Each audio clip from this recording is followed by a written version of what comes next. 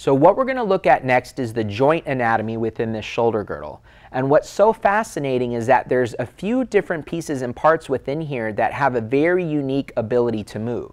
So the shoulder girdle in and of itself, where the humerus comes up and sits into the scapula, it's a very narrow and or it's a very shallow joint line, meaning the face of the scapula sits right like this and then your humerus sits right in here. It's designed for your arm to be able to have a great amount of range of motion. So we can reach up, we can pull ourselves up, we can push ourselves off the ground, we can reach out and pull things towards us. And so unlike the hip, even though that it's a ball and socket, it needs to be able to find its stability from all of the musculature and the tendons in and around the joint.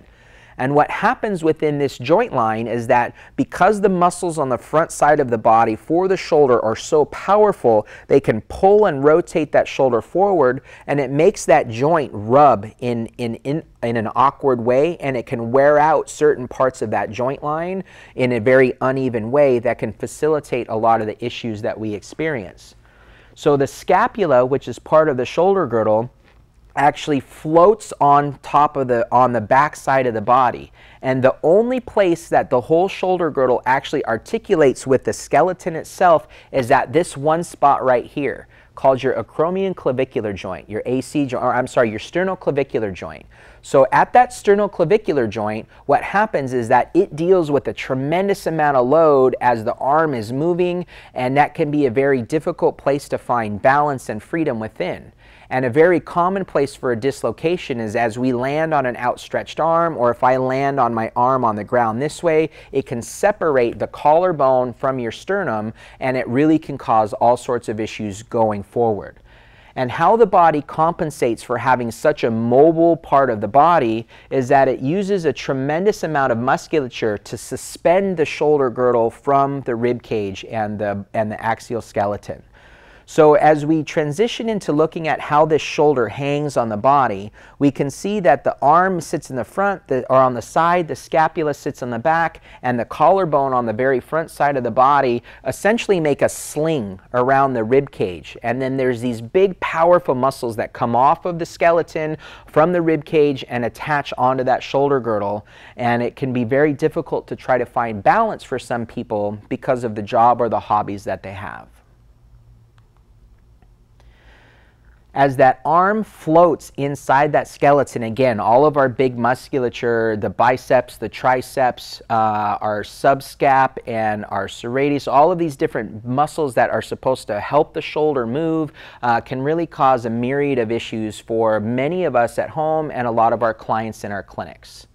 So as we look at this big pectoralis major, this big deltoid, all of these muscles attach in and along that shoulder girdle and they really are very strong and overpowering. There's actually some guys where their pectoralis major can be anywhere between three or four inches thick. If they're big uh, bodybuilders or football players and they've really developed that chest musculature, it can really have a huge impact on, on the position of where that shoulder girdle is hanging and sitting within the whole structure.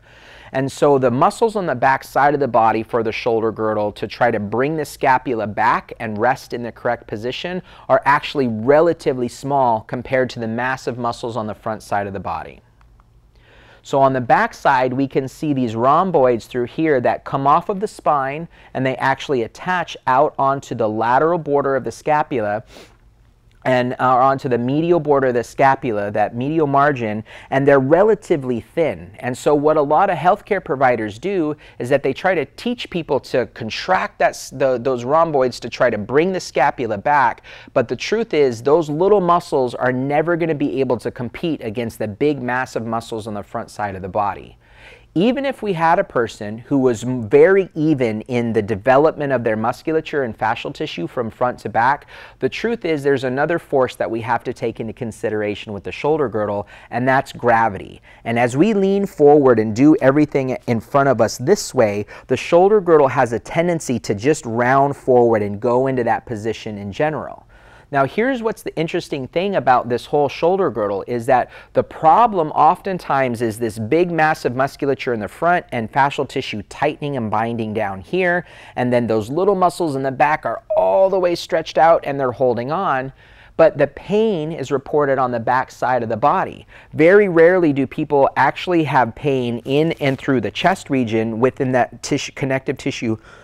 on the front side of the body through there. And what happens is that they go into some really talented, really wonderful therapists that try to just strengthen that tissue back and they just can't compete. That's like having a, a, a tug of war and you have a team of sumo wrestlers against a team of ballerinas and there's just no way they're going to be able to effectively compete against each other.